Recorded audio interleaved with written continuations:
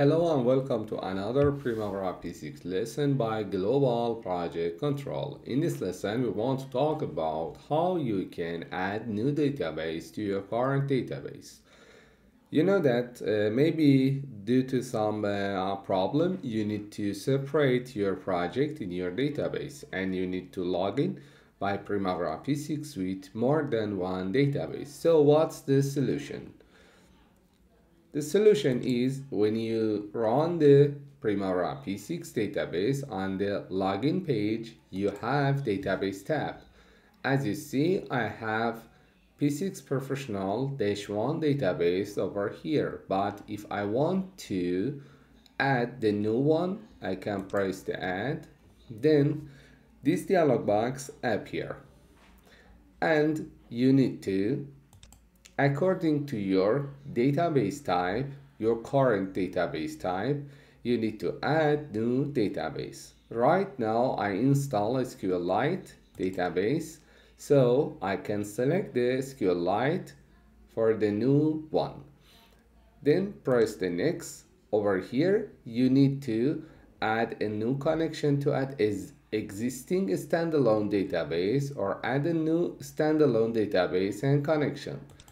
I like to add a new database. You need to complete this dialog box information. Login name, password,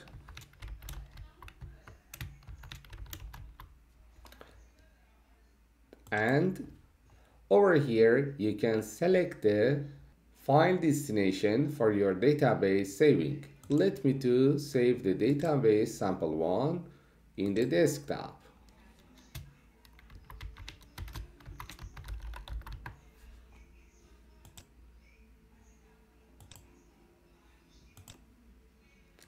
Then if you select the load sample data, then the Primavera P6 sample data will be loaded to your database. If you deselect it, you only create the empty database.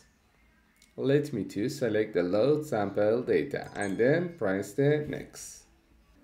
My connection successfully created and I can press the finish. Right now I have to database. If I go to the login page, then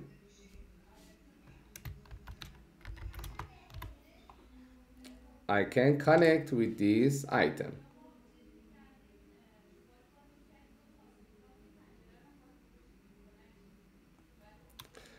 Because this database is the new one, you should select the appropriate industry for this in the admin preferences menu.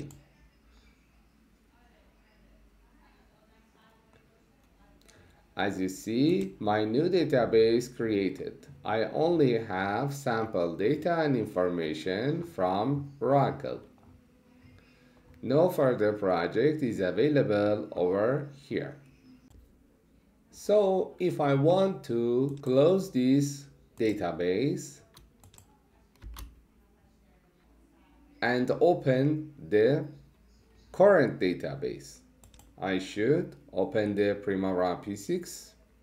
Over here on the tab, I can switch on previous database and login. I recommend you to assign the different password in order to assure that you connect to the correct, correct database. As you see, I'm connected to the my current database and if I collapse the information, you can find the different EPS based on my work. These are the other database. So you can connect to the proper database based on your requirement. If I close this, and I run the Primavera P6. Over here, you have two database and you should select your database based on your requirement. I hope this video is useful for you. Thank you for watching Global Project Control. I hope this lesson is useful for you. Please keep in touch with my LinkedIn, YouTube, Instagram, and Facebook for further lesson. Also, you can visit my website www.globalprojectcontrol.com in order to find all of my lesson and courses in the same time. Thank you for your subscription at my YouTube channel.